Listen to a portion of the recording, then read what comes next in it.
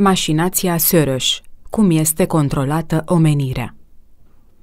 Miliardarul american George Soros a creat o serie de ONG-uri care au ajutat la propulsarea alianței Da la guvernare. Tot Soros a fost creierul revoluțiilor colorate din Georgia și Ucraina. El este și cel care a găsit metoda de schimbare a unui regim nedemocratic pe cale pașnică, fiind un artizan al prăbușirii comunismului a fost mentorul lui Mihail Gorbaciov și Vaclav Havel. Revoluția de catifea de la Praga ilustrează din plin mecanismul lui Soros. Deși nu este șef de stat, Miliardarul George Soros și-a câștigat prin rolul jucat de-a lungul anilor 80, iar recent prin finanțarea și organizarea revoluțiilor colorate din Georgia 2003 și Ucraina 2004, reputația unui super lider al noii ordini mondiale dar și pe cea de adversar infatigabil al președintelui George W. Bush și al grupului neoconservator de la Casa Albă. Project for a New American Century. Adeseori se afirma în mod îndreptățit că Soros a stat în spatele ascensiunii unor lideri cărora le-a fost și prieten, de la Gorbaciov la Havel, de la Saakashvili la Yushchenko. Spre deosebire de Bush, adeptul intervențiilor militare cu rezultatele care se pot vedea în Irak, Soros a militat, a finanțat și a organizat, prin fundațiile sale, schimbările unor regiuni autoritare sau nedemocratice din Est pe cale pașnică, fără violență este metoda mișcărilor din anii 89, cu excepția României, precum și a revoluțiilor portocalii recente. Revoluțiile portocalii au adus în sfera de influență a noii ordini mondiale țări ca Georgia sau Ucraina, fără să se tragă un singur glonț.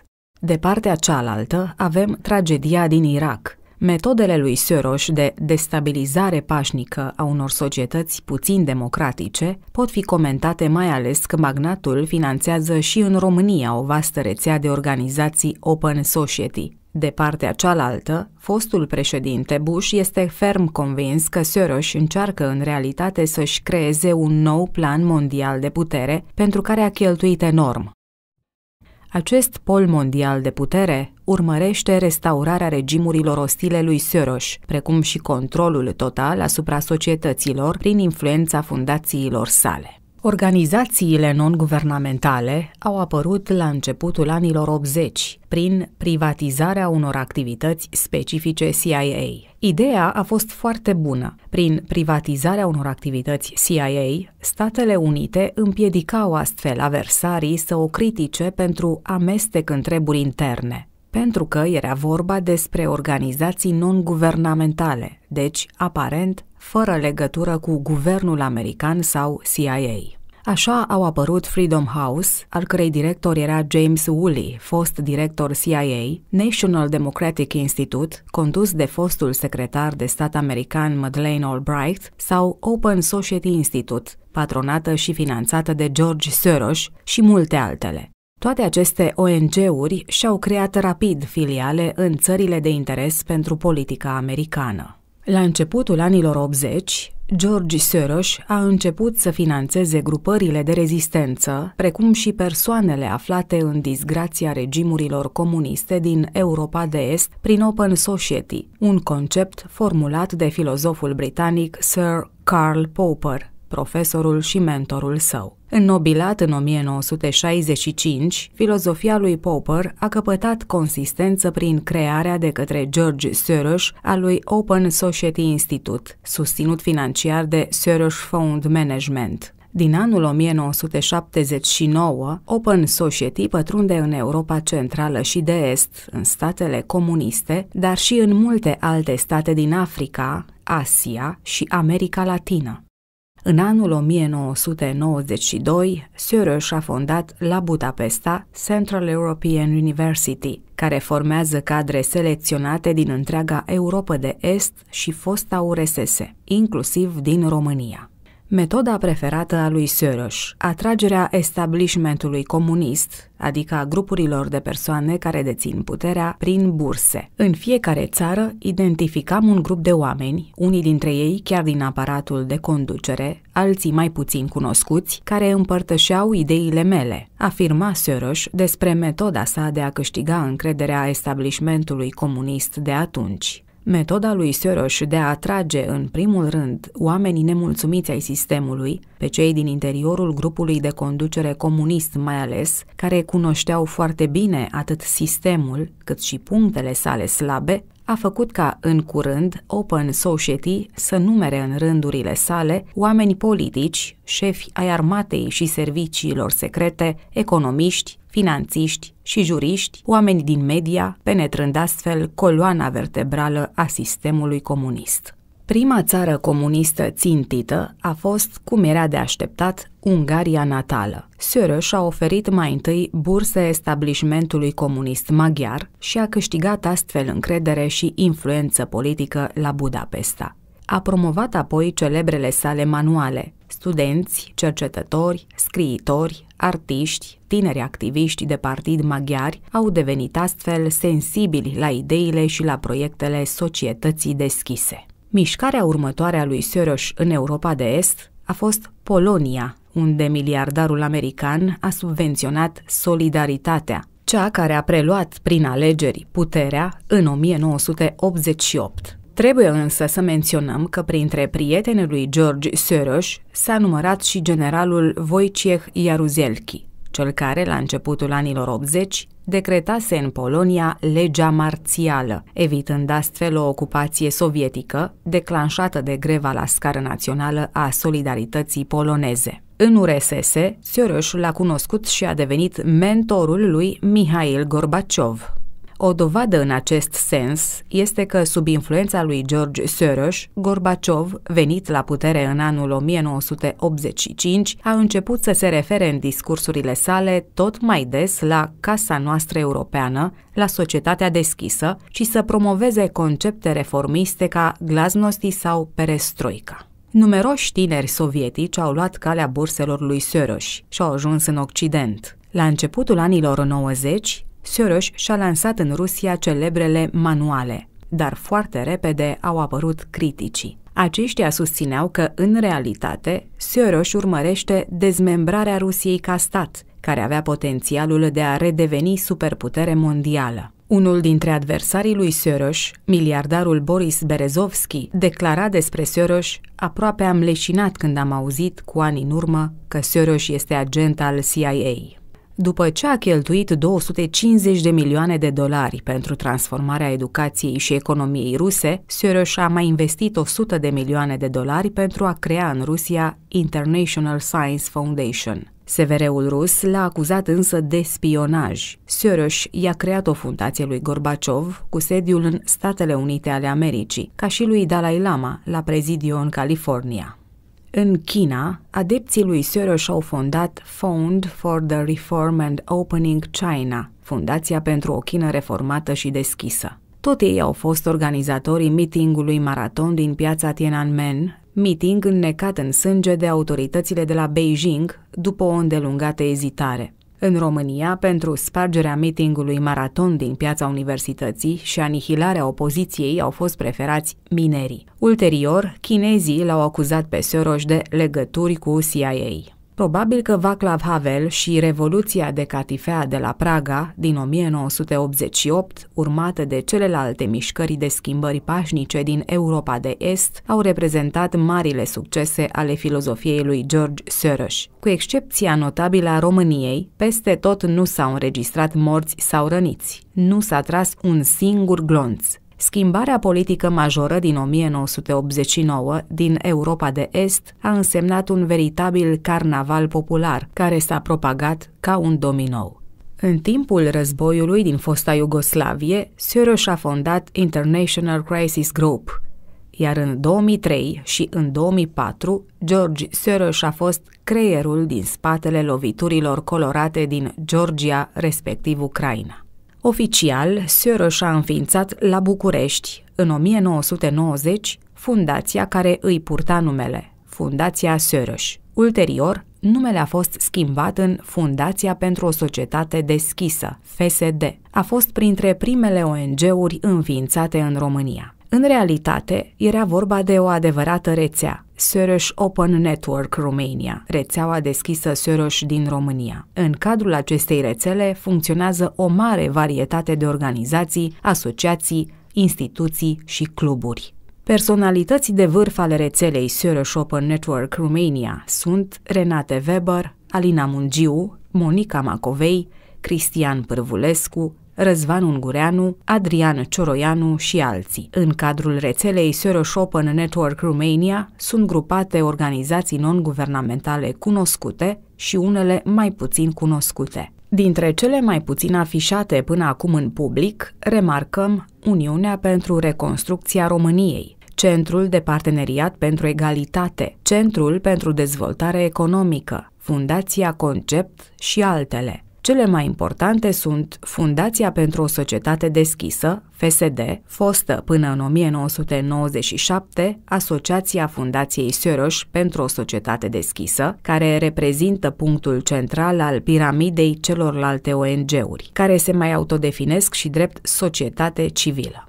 Fundația Söröș asigura finanțarea celorlalte ONG-uri, care însă între timp și-au creat și surse proprii de subvenționare, mai ales după anul 2000. Apartenența la Fundația pentru o Societate Deschisă a creat membrilor săi multiple oportunități. Mihai Răzvan Ungureanu este un bun exemplu în acest sens. Până în anul 1997, fostul ministru de externe Mihai Răzvan Ungureanu a lucrat pentru Fundația pentru o Societate Deschisă. Aceasta i-a permis să beneficieze de burse și stagii de pregătire. Astfel, în anii 1990-1991, Mihai Răzvan Ungureanu a primit o bursă pentru masterat la Colegiul Oxford, masterat luat în anul 1993. Acest lucru i-a îngăduit ulterior lui Ungureanu să devină membru al prestigioasei European Association for Jewish Studies de la Oxford. În 1998, Ungureanu a devenit senior fellow în cadrul Colegiului Oxford, cel mai cunoscut centru cu acest profil din lume. Primind premiul Posen, Ungureanu a beneficiat și de o bursă de 2 ani în perioada 1996-1998 la cunoscuta Universitate Ebrica din Ierusalim. În anul 2000, Ungureanu a susținut cursuri ca Senior Reader la NATO School din Germania, iar în 2003, Mihai Răzvan Ungureanu este Senior Reader la George Marshall Center for Security Studies, tot în Germania. Din martie 2005, Mihai Răzvan Ungureanu este profesor asociat și la Universitatea Națională de Apărare. La 2 mai 2005, întâmpinându-l la Ierusalim pe Mihai Răzvan Ungureanu, Silvan Shalom, ministru de externe al Israelului, spunea Bine ai venit, prietene Ungureanu, expert în iudaism și prieten al Israelului. Mihai Răzvan Ungureanu este doar un exemplu pentru oportunitățile oferite de Federația pentru o Societate Deschisă și George Soros tinerilor români. Același lucru se poate spune despre mulți alții dintre cei citați anterior. Cele mai cunoscute ONG-uri din cadrul lui Soros Open Network Romania sunt Asociația Pro-Democrația, înființată în august 1990 de Adrian Moruzi la Brașov. A fost finanțată mai întâi de National Democratic Institute,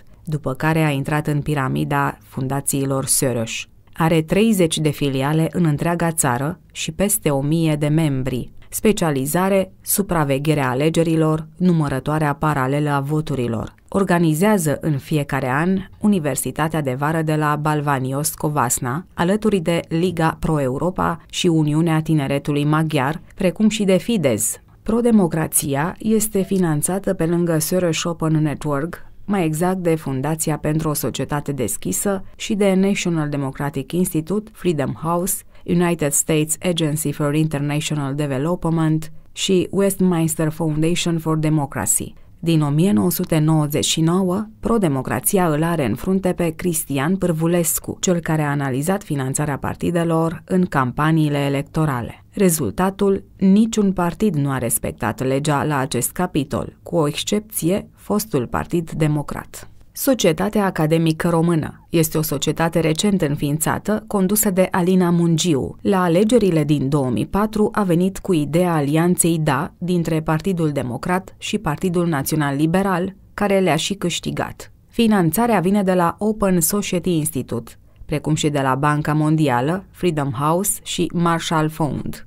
Asociația pentru apărarea drepturilor omului în România, Comitetul Helsinki, condusă la început de Renate Weber, apoi din 1996 de Monica Macovei. Trebuie precizat că APADOR este probabil singura organizație non-guvernamentală apolitică din România care corespunde criteriilor pretinse acestor organizații non-guvernamentale. Grupul pentru dialog social, Înființat cu mult zgomot în 1990, în prezența lui Ion Iliescu, la Hotelul Intercontinental, grupul pentru dialog social s-a dovedit ulterior a fi principala pepinieră a Fundației pentru o societate deschisă. Condus actualmente de Radu Filipescu, grupul pentru dialog social numără intelectual importanței României de azi. Alte ONG-uri ale rețelei Soros sunt Agenția de Monitorizare a Presei Academia Cațavencu, precum și Alianța Civică. Cum a început Soros finanțarea în România? George Soros a investit în 1990 pentru fundația sa din România 1,5 milioane de dolari. Banii au servit implementării unor programe civice. Între 1990 și 1994, fundația s-a ocupat de pildă cu elaborarea manualelor alternative, scrise de membrii fundației, în colaborare cu Ministerul Educației. Investițiile lui Soros în România au crescut progresiv, de la 4,3 milioane de dolari în 1992 la 11,3 milioane de dolari în 1996, pentru a ajunge în 1999 la suma record de 15,8 milioane de dolari. Din anul 2000 însă, strategia finanțării fundației s-a schimbat. Soros decide ca fundațiile care au devenit foarte eficiente în anumite domenii să înființeze organizații autonome în aceste domenii, la căror finanțare să contribuie doar parțial. Astfel se explică scăderea finanțării lui Soros în România după 2000. ONG-urile din cadrul Soros Organization Network au început să se autofinanțeze din acel an. De la 12 milioane de dolari investiți în anul 2000, Soros a ajuns la 7,6 milioane de dolari în 2002, la 5,4 milioane de dolari în 2003, la 3,9 milioane de dolari în 2004 și la 3,2 milioane de dolari în 2005. După alegerile din 2004, unii membri ai Soros Organization Network au ajuns în guvern, ceea ce ridică o problemă de incompatibilitate, deoarece nu poți să fii membru al unei organizații non-guvernamentale și același individ să ajungă și membru în guvern, pentru că rolul unei organizații non-guvernamentale, prin definiție, este tocmai să supravegheze viața politică, partidele, parlamentul, președinția și, bineînțeles, guvernul. Metoda ingenioasă a lui George Soros de a atrage pe membrii establishmentului aflat la putere prin burse către filozofia societății deschise a creat o altă metodă de a schimba pașnic, fără violență, regimurile nedemocratice. Dragi prieteni, mă opresc aici. Vă mulțumesc pentru atenție. Până data viitoare, aveți grijă de voi. Numai bine!